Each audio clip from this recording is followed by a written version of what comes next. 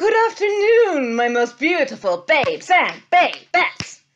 I'm your resident active advocate, and today I would like to talk to you about The Princess and the Frog. I only just saw this movie for the first time in my life this morning, and there's a lot to unpack. First of all, I want to give Disney some props where they're deserved because welcome to the 21st century. This movie has Disney's first ever black princess in it. And I love that. Keep doing that, Disney. It's not forced representation if you actually do it well. The bulk of what I want to discuss in this movie has to do not so much with race, but with class division. I want to talk about capitalism. I am anti capitalist. I am not a communist, okay? Because I am also an anti authoritarian, and communism is an authoritarian system. I would definitely put myself on the anarchic left. So think people like Noam Chomsky, think people to a certain extent like Gandhi. I would be with them. MLK, same thing. But in this movie, um, the very first kind of interesting thing, okay? The bad guy. His name is Dr. Facilier, okay? New Orleans is in Louisiana, which was colonized by the French. The French word for easy is facile. And I don't mean easy as in promiscuous, I mean easy as in simple. I don't know whether this name would have a linguistic tie in, but facilier could be a derivation of the word facile because facilier is basically characterized as the opposite of Tiana. He takes the easy way out in order to get money and influence and power, and namely, people under his control. The whole point of capitalism is not to grow rich, but is to grow powerful. But capitalism sees the two as interchangeable. If you are rich, you will be powerful. If you are powerful, you must be rich, in theory. All right, so I want to talk first about what the movie does really well. The movie does Tiana really well. I love her character. She's a very, very good character. She comes up from uh, she comes up from nothing, from a standout family. Family. Her father and mother bust their butts to try and make a life for themselves and for their child. The father, especially, is portrayed as doing this. He never takes a break. And then he goes off to war and is killed in state sanctioned violence. Violence. I am also very, very rigidly a pacifist. I believe that war and capital punishment are what I call state sanctioned murder but it's only okay when they do it. That's the problem. If you do it, it's not okay. If the state does it, it's fine because that's their business and their business is, you know, more important than ours. I am speaking, by the way, from, I have to acknowledge this, the very privileged perspective of being white, living in Canada, and being profoundly middle class. I am actually capable of working my way up into a good position in life. I am in the process of doing that right now. I like my job. I find my work rewarding. I have an education. And this isn't me bragging, this is me making statements of fact. There are the vast majority of people in the world who are literally not able to do that, and that is because of capitalism. So, capitalism if we shall give it a loose definition, is ye olde pyramid, which y'all know I love, um, with the very rich at the top, and then you get progressively poorer as you go down. But with the shape of the pyramid, there are fewer people at the top than there are at the bottom. Uh, than there are at the bottom. Um, there are going to be far, far more people at the bottom than at the top. Because money, as connected to power, remember, money is a finite resource. Capitalism is an extension of and the offspring of colonialism. Therefore, it's actually a lot easier for white people to make it in the world. It is. It objectively is. And especially in North America, because America as a nation, and then Canada by extension, we're younger than America. Um, I would also throw Mexico in here too, because they were colonized by the Spanish and they were also European capitalists. America is a capitalist country. Canada is a capitalist country. Mexico is a capitalist country. But you will see that the vast majority of wealth resides in America. The richest people in the world are white males, statistically speaking. Another thing about statistics is that the idea of the American dream is objectively false, and here's why. The American dream says that here anyone can make it. And I'm basically taking this, by the way, line by line from a channel called Innuendo Studios. He's great, go look him up. But what he says about this is that the American dream is that here anyone can make it. You work hard enough and you last long enough in the rat race, and anyone can become a millionaire. Nowadays, because of inflation, it would probably be billionaire because millionaires are not that rich. They're a lot richer than most people, but not that rich compared to how rich you can get. Here's the rub anyone can, but everyone can't. Money, as I say, is a finite resource, and the entire conceit of capitalism is to keep money flowing up the pyramid. Those who are already at the top have the resources that they need.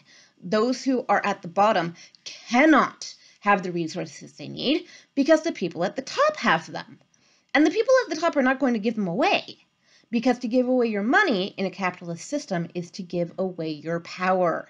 And people like power. People like having influence. People like having a say in how their home, in how their city, in how their country is run. With Tiana, you get the manifestation of the American dream. The idea that if you work hard enough, all of your dreams can come true. Because she works her butt off for her dream. At the beginning of the movie, you see her refusing opportunities to go out with her friends, you know, and the whole excuse mine of, oh, I can't go out dancing, I have two left feet. Oh, I can't go to this event, I have to work tonight, just like every other night. Because it's what her father did she learned by example that hard work will get you what you want eventually. Eventually being the key word here. He was killed in war, so he was not able to get what he wanted.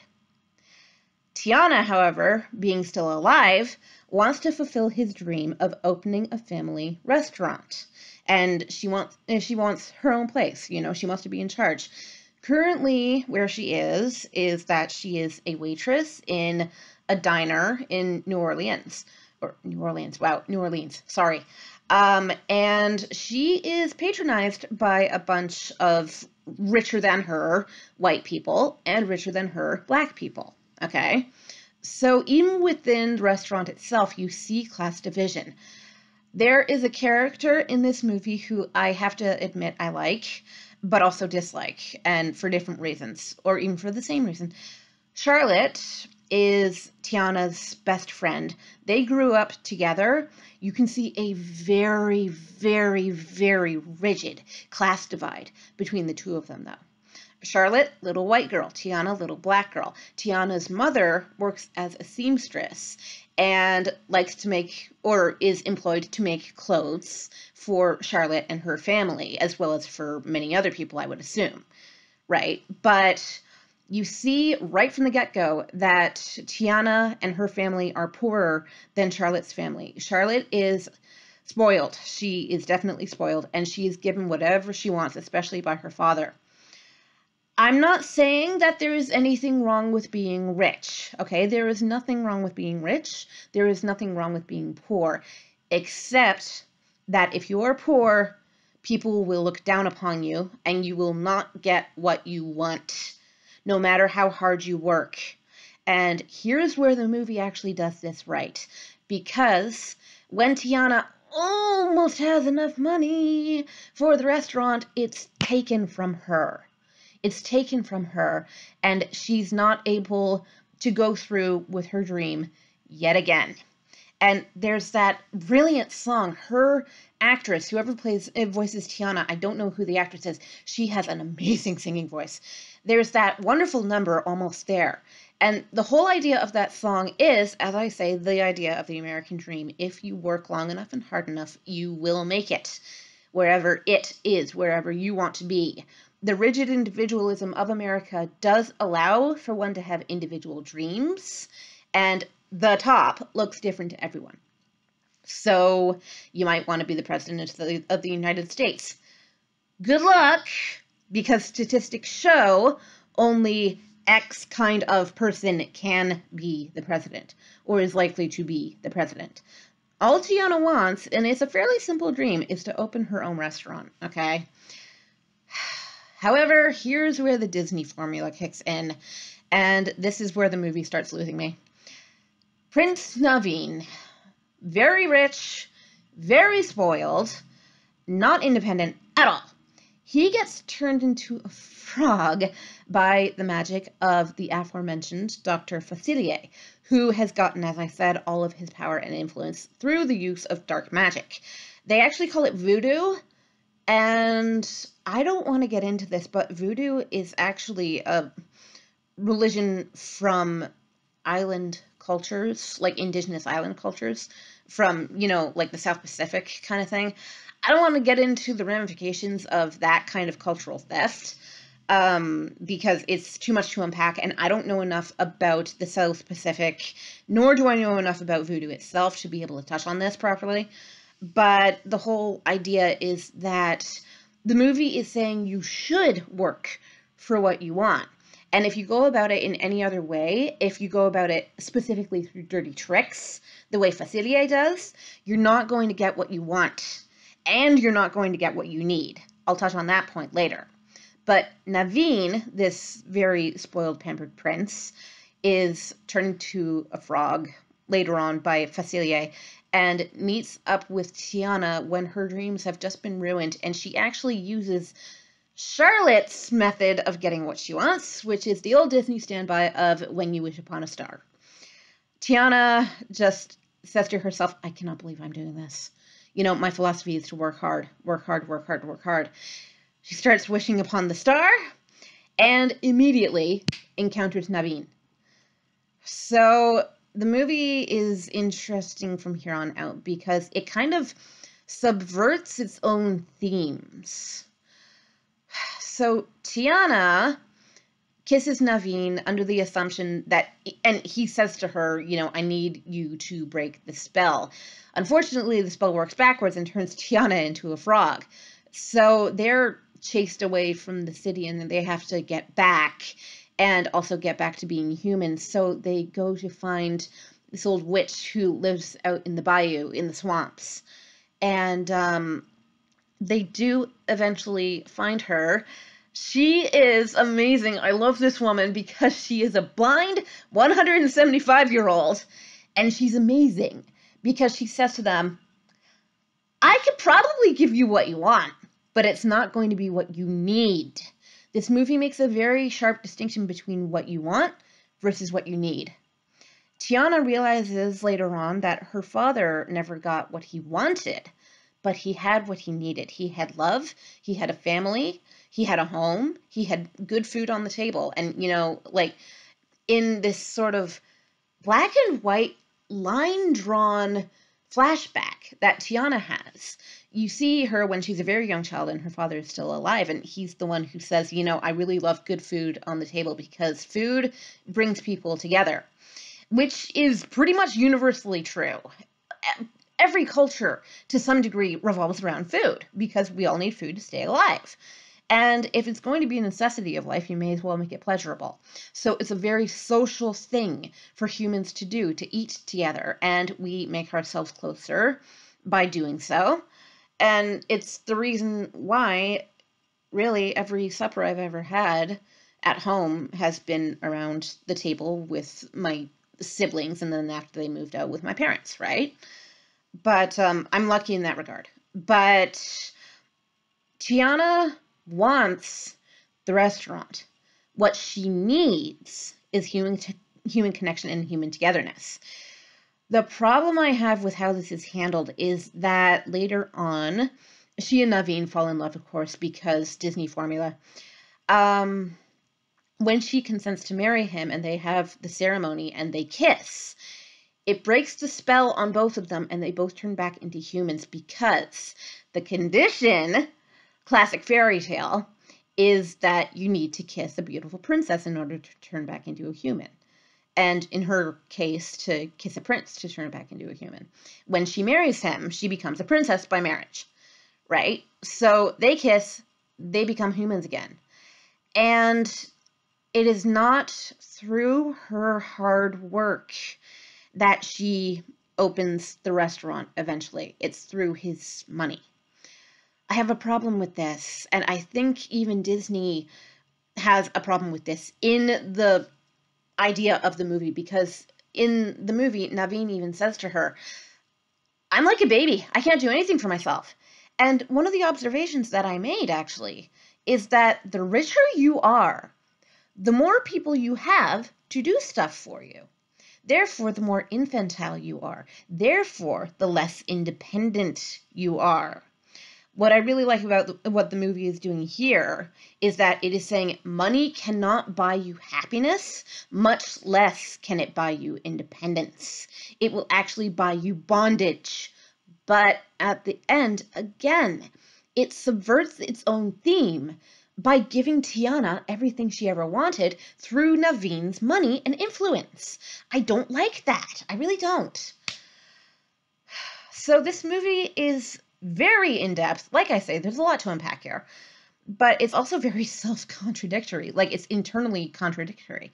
Because working hard might eventually get you what you want, but we know it won't. And in the real world, it won't either. There's like a 2% margin of error for people born into poverty to make their way up to being rich in the world. 2% likelihood that anyone in my audience is going to do that. Have fun. And that applies to me as well. Have fun, right? Not that I was born into poverty. Like I say, I'm I am profoundly middle class. And I'm not saying that to brag, it's just a statement of fact. But it begins by saying if you work really hard, you'll get all of your dreams. But then classic Disney formula kicks in, and while she teaches Naveen some measure of independence, he kind of makes her dependent on him because it is based on his money that she gets her dream, not based on her own hard work but the movie also frames that as a problem because it frames Naveen as, you know, a man child, basically. He flat out says, I can't do things for myself. You know, I, I don't know how. People have always done it for me. I've had people to feed me, to dress me, to drive me around. And it's, this movie's a bit of a mess, to be perfectly honest. Um, it's difficult to digest all these different messages that it's throwing at you. But the one message that's definitely clear is the standby Disney formula that if you marry rich, all your dreams will come true. It happened to Snow White, it happened to Cinderella, it, it's now happened to Tiana. And I don't like that because that's not realistic. People who are born into poverty will very, very likely not marry rich. That's how capitalism works. It is designed to keep you in your place in your place, I say in quotation marks. You're not going to get, um, I don't know, whatever. If you weren't married, Bill Gates, you're not going to get Bill Gates marrying a homeless woman. You know, it's not going to happen. And nowadays, it's tech, it's tech giants. Back in the day, it was based on monarchy, but it's the same structure, just uh, just with different faces, pretty much and different kinds of royalty. It's royalty based on affluence rather than royalty based on blood. But good luck gaining your affluence if you weren't already born rich. Not going to work. Like I say, there's a 2% margin of error there. That's it. And I don't mean you have a 2% chance of getting rich. I mean that you have, like, everyone has a 2% chance of getting rich. But the problem is, as I said before, there's a finite of amount of money in the world, and it's all already at the top. And there's the trickle down effect because of the structure of the pyramid, but it's not going to, you know, all come down at once. It, basically, what you get is handouts from the top. And now I'm rambling, but that's the whole point of the system. You know, it's meant to keep the rich rich, it's meant to keep the poor poor, the poor get poorer, the rich get richer. That's the idea. And that's the kind of crap that I want to get rid of. Thank you very much. Have a good day. so that's my analysis of Princess and the Frog. It was very interesting to me. I thought it was I thought it was pretty cool. I didn't even talk about the side characters, my goodness, and I barely even talked about Facilier. But really, he's a plot device. He's uh, like that's pretty much all he is. Just the whole idea of if you take the easy way out, you're not going to make it and you're not going to get what you want and you're not going to get what you need either. So, yeah, that is Princess and the Frog. And tomorrow I will be talking about Tangled. This one is really interesting too. Two very different psychological pro- uh, profiles that I will be diving into. One of whom is one of Disney's most renowned villains. Fun times. But I don't actually like her at all. Ugh. Um, all right, so I will see you all tomorrow. Have a lovely, wonderful day and I hope it's sunny where you are. All right. Peace out, yo. Mwah.